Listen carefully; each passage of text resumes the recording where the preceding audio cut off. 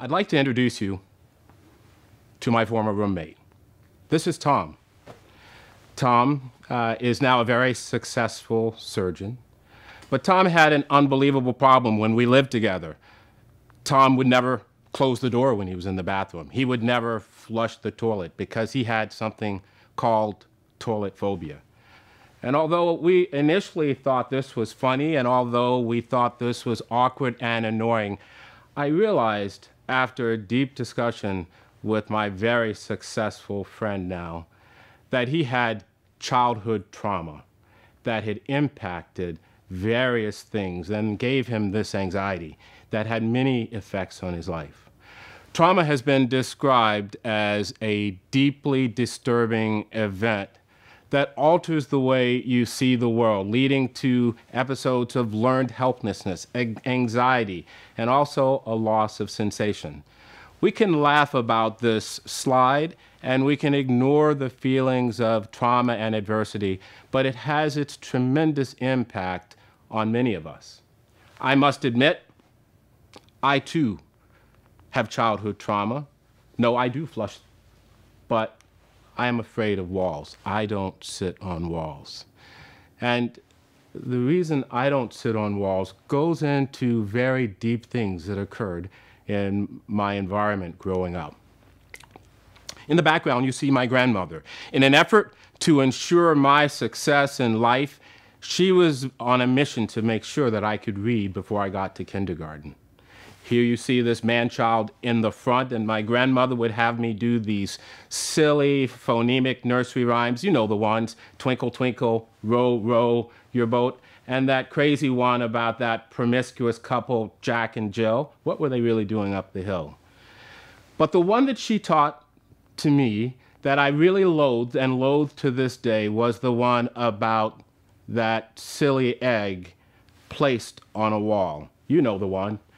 And for me, I always thought that I personified Humpty Dumpty, a fragile child in a precarious environment who, if he fell, would be broken so badly that he could not be put together again. And I would venture to say that there were many people who grew up in my environment who felt that.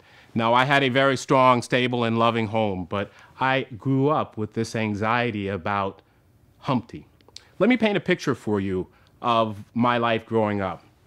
Here I am with my dog Spot looking out across the street where there were two dilapidated houses with two men who were alcoholics.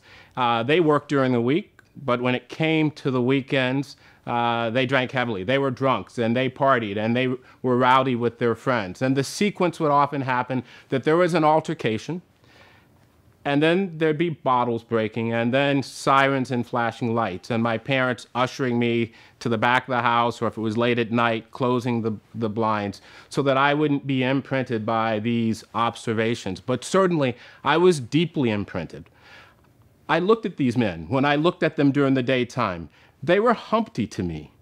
How could they get themselves in this position that they could be so fragile? Where were their families? Where were their loved ones? And more importantly, where was the community? And, and where was society? How could they not matter? And I'd often hear my mother in the back house, back of the house saying, those no count men. And I worried that I might not count. I'd look at the broken shards of glass on the street and I'd see this image of Humpty, and it really became a pervasive uh, thought and level of anxiety for me. Well, if I came inside and looked in TV, there are other images of a, a raging, waging war in a far away land, riots, the death of our heroes, and a civil rights struggle that was not only uh, going on away from our city, but my parents were heavily involved in trying to achieve equity for our family in a society that didn't offer that. And in fact, Martin Luther King came to our city to support my family's efforts in that regard. And so I grew up as a young boy with a very blurred picture of what society was going to offer. However, I was fortunate. I had this grandmother and family who told me when I talked about this concern about being a Humpty, they said to me that they were better than any king's horses or any king's men. That, as my grandmother would say to me, I will make you stronger in the broken places. And that the way we mitigated that fragility, uh, she said, was to have meaning and purpose and focus in your life. So, despite the things that might have blurred my future and seeing the world in black and white, I always dreamed in color. And it's this concept of building stability that I think is important as we think about society, as we think about the patients that we care for. My grandmother said, uh, dream. As she says, make no small plans, dream big. And so I did. Uh, I wanted to be an astronaut, like John Glenn or like Neil Armstrong walking on the moon. I was really fascinated with Christiaan Barnard when he did the first uh, heart transplant. So, astronaut, surgeon, and I also wanted to be a social justice leader. Not at the level of Martin Luther King, but at, at a level that would have impact uh, in the community. I left Lynchburg, Virginia. I went to college and medical school and training and took my first academic job in Pittsburgh at the Children's Hospital of Pittsburgh and began studying the immunobiology of neuroblastoma, the most common extracranial solid tumor of childhood. And my specific interest was the role of dendritic cells in the tumor microenvironment. And we were working to develop uh, uh, tumor vaccines that might be useful in that setting. I also did a lot of surgery on patients who had cancer.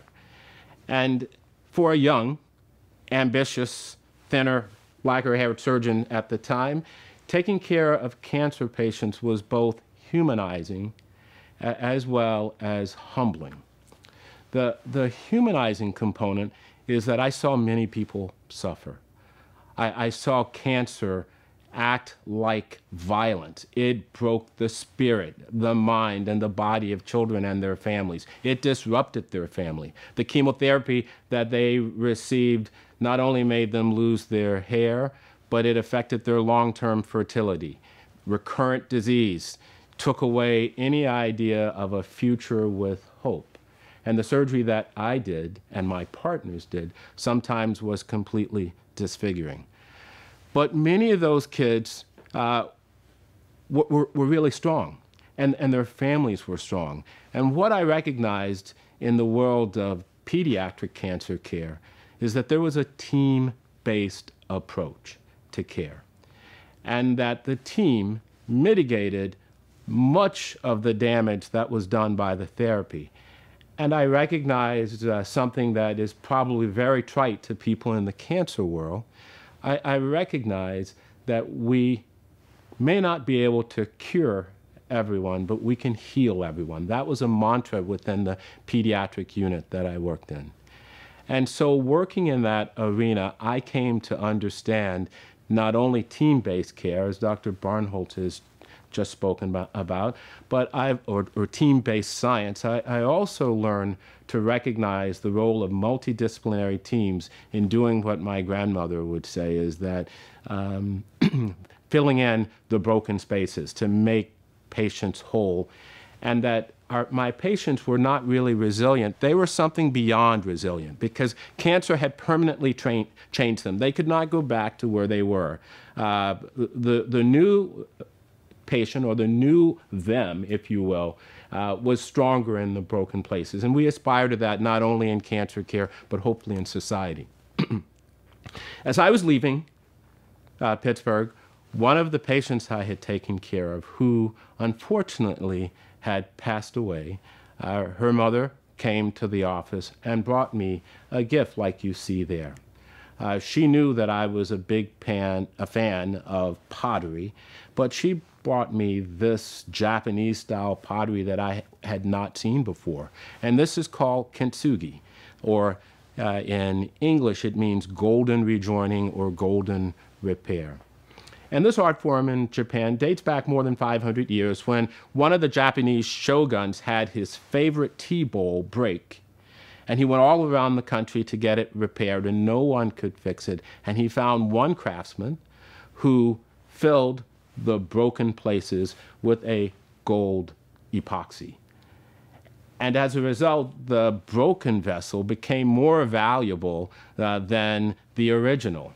And this concept that we wear our scars boldly, as, a, as opposed to disguising them, I think becomes an important mantra as we approach the care of patients more broadly who are dealing with trauma, whether that trauma is the diagnosis of cancer or that trauma is the result of a bullet or other form of violence. I love cancer. I love cancer research. But I always had this hunkering to do something else. And in 2007, I made a pivot. I came to Cleveland to move from what I felt was academic to success to social significance. I wanted to do something that was more team based, that was much more collaborative, and that would have an impact on patients uh, broadly in the realm of social justice. I was interested in access, but little did I know that I would get caught in a vortex of violence. The Cleveland that I found in 2007 was one that had many social problems. Uh, you can see number one, infant mortality, significant healthcare disparities in the realm of uh, African American and non African American infant mortality, and one that really signifies the depth of toxic stress, uh, the number one uh, or the highest suicide rate in any school district in the country. Uh, this was moral injury for me. What was I going to do? So I thought about my experiences at Biogen in the, as a visiting scientist in the late 1980s working with Richard Flavell and my experience working in the cancer labs in Pittsburgh, I realized that I needed to develop a lab. And this time, my lab would be in the community. And this time, my lab would be a human centered lab. Uh, I did some things that I, I, I, never imagined I would do. I went to rec centers, churches, schools. I met with teachers. I met with victims. I met with perpetrators. I met with gang members. I met with law enforcement. Uh, I met with a wide variety of people to understand the depths of the problem. Because for me, the violence that I was seeing was much more than that that came from a bullet. It really was pervasive and it increased the risk of so many other medical morbidities and mortalities. And so, if I wanted to have impact or make a difference, I needed to understand Cleveland and the things that impacted healthcare much more broadly and also Im impacted our ability to deliver that.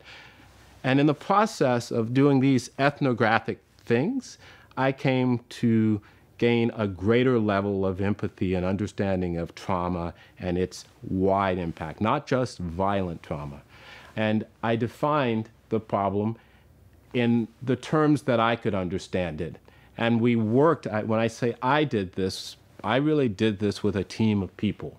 Although my initial forays were meeting people, I worked with the chief of police and the mayor in order to look at how we might address this problem and move forward. And ultimately, as you will see, we developed a prototype, a model that we're testing, and we're moving forward.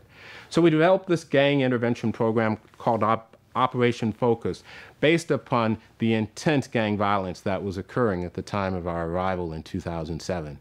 And uh, this happened uh, we went to the chief of police and the mayor and said, This is unacceptable. They said, Yes. What are we going to do about it? We set up this program, this gang intervention program. We met in different parts of the city. We brought the SWAT team. We brought mothers who had lost children. We sent them a, them a tough message. And lo and behold, two years later, uh, we saw results the lowest homicide rate in 50 years. And we felt that we really had addressed the problem. But shortly after, the money ran out, the numbers went higher than they were before. And what I realized in this entire process of being in the community, that it wasn't about the guns, it wasn't about the gun manufacturers, uh, it wasn't about law enforcement and increasing uh, mass incarceration. Uh, what we saw, uh, the high homicide rate in Cleveland, uh, was the result of despair, poverty, and the empathy gap. And so the empathy gap for me, I told you, I learned when I did oncology work that everyone cared for the kids uh, and no one felt that any child who had cancer was guilty. When we take care of kids with violence, we have a treat them and street them mentality. Adults with violence, we somehow see that something they've done is the reason uh, that they may have this problem. So we did a deep dive in looking at our trauma numbers. I, I, showed this picture of a young girl who's been featured on a, a, really important podcast. I took care of her. She was sitting in a car waiting for her mother to get uh, candles for her father's birthday, and unfortunately, she was killed by a stray bullet. We looked over a two year period at violence, uh, gun violence in, in Rainbow, Rainbow of all places.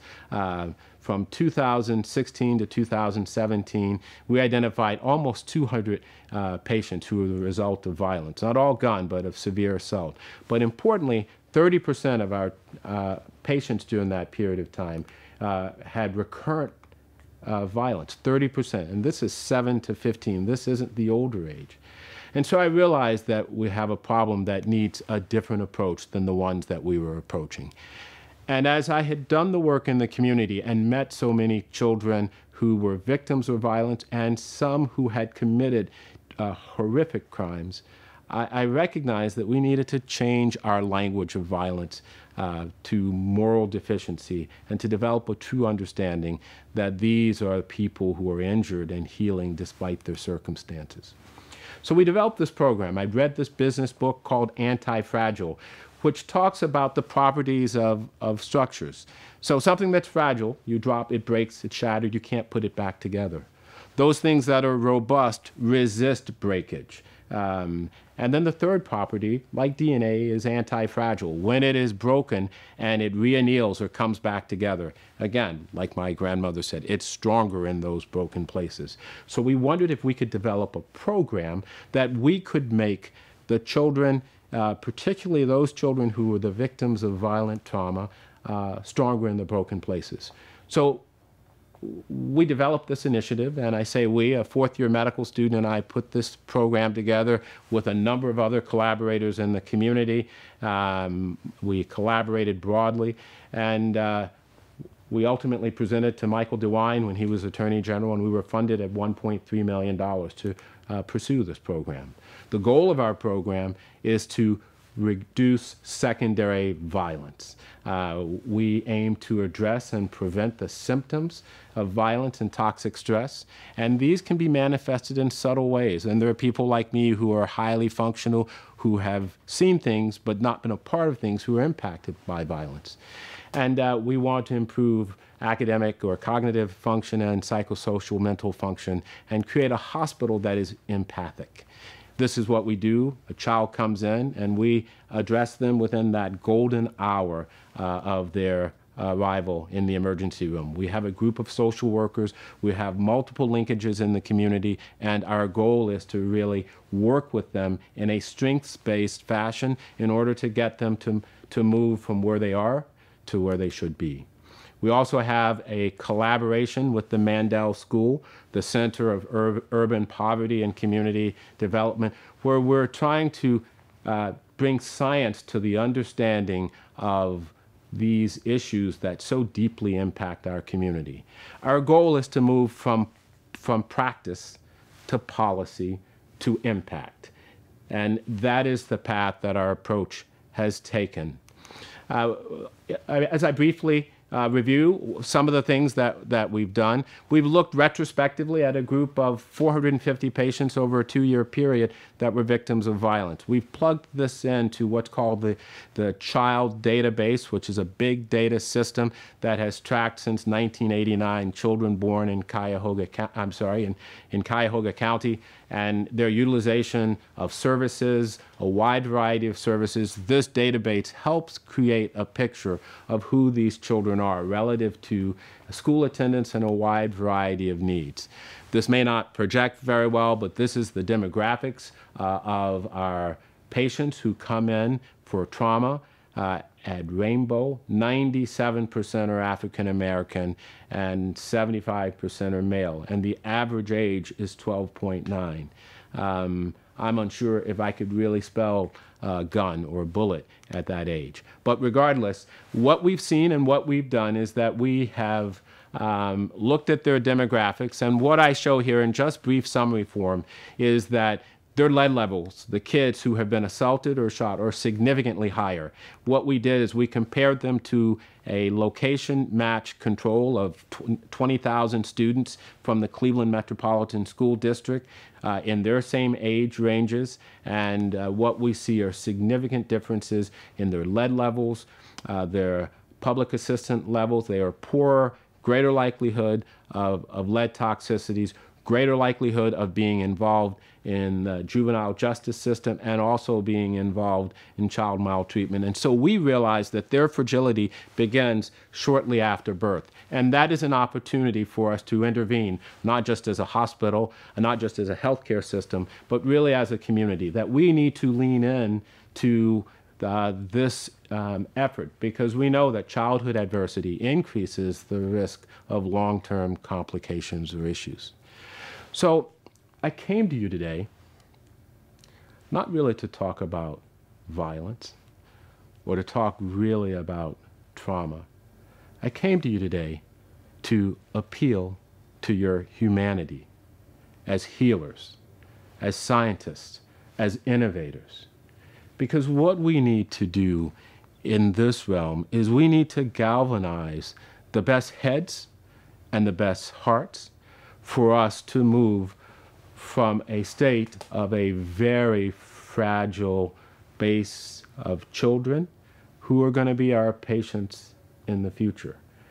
And that we know that as we lean in and as we create systems that are able to bolster their development, they will have healthy habits. Uh, they will be more productive. They will be less likely to be in, engaged in antisocial behaviors. And so, again, as I close, I appreciate the opportunity to address uh, such an incredible group. I appreciate the opportunity to understand innovation and to see how you collaborate so tremendously. We hope to model our program uh, of anti-fragility so that we can move beyond uh, trauma to a state, uh, beyond resilience to a state in which um, patients are good.